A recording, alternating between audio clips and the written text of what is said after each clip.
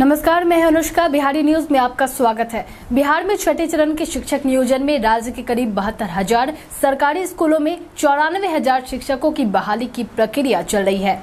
इसके तहत पहली और दूसरी काउंसलिंग पूरी हो गई है और अब तीसरी काउंसलिंग के लिए नया शेड्यूल जारी कर दिया गया है।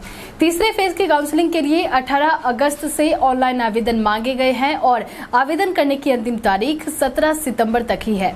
ऐसे में बहुत सारे लोगों को इस आवेदन प्रक्रिया के बारे में कंफ्यूजन है कि इसके लिए आवेदन करने की पात्रता क्या है? कितनी सीटों के लिए आवेदन हो रहे हैं? सबसे ज़्यादा सीट किस ज़िले में है? और भी बहुत सारे सवाल है जो की अभ्यर्थी जानना चाहते हैं।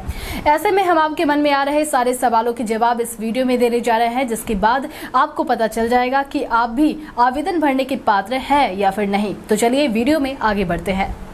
बिहार के शिक्षा विभाग द्वारा साल 2019 में ही चौरानवे हज़ार शिक्षक भर्ती के लिए आदेश दिए गए थे और आवेदन मांगे थे, जिस पर काफ़ी झंझट और हाईकोर्ट के हस्तक्षेप के बाद इसी साल जुलाई महीने से बहाली का रास्ता साफ़ हुआ। इसके तहत पहली और दूसरे चरण की काउंसलिंग हो गई है। अब तीसरे चरण में माध्यमिक और उच्च माध्यमिक स्कूलों में शिक्षक बहाली के लिए आवेदन मांगे गए हैं।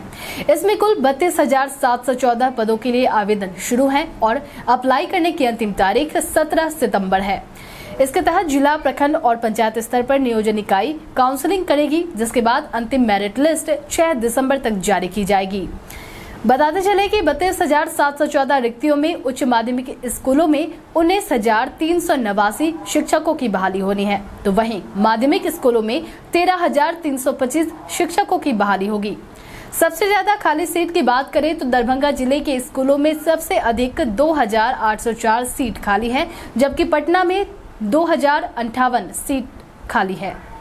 ऐसे में यहाँ सबसे ज़्यादा आवेदन भी आने की संभावना है। दूसरी तरफ़ औरंगाबाद पूर्वी चंपारण भोजपुर समस्तीपुर नवादा गया नालंदा और रोहतास में भी एक एक हज़ार से ज़्यादा सीटें खाली है।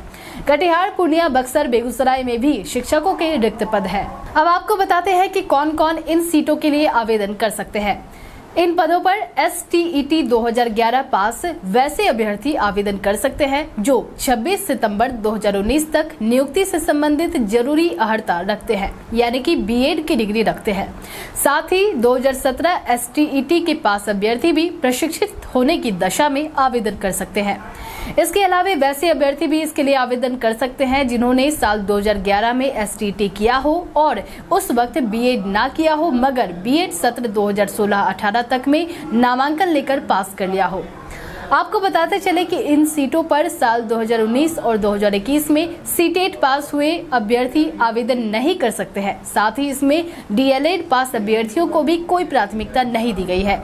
साथ ही साथ इन पदों के लिए जो भी अभ्यर्थी 2019 में ही आवेदन दे चुके हैं, उन्हें इस बार फिर से आवेदन करने की कोई ज़रूरत नहीं है। साथ ही आपको बता दें कि अगर आप माध्यमिक शिक्षक के लिए आवेदन करते हैं और आपके पास इतिहास या भूगोल के अलावे अर्थशास्त्र और राजनीति शास्त्र में डिग्री है तो काउंसलिंग के वक्त आपके पाँच अंक अलग से जोड़े जाएँगे।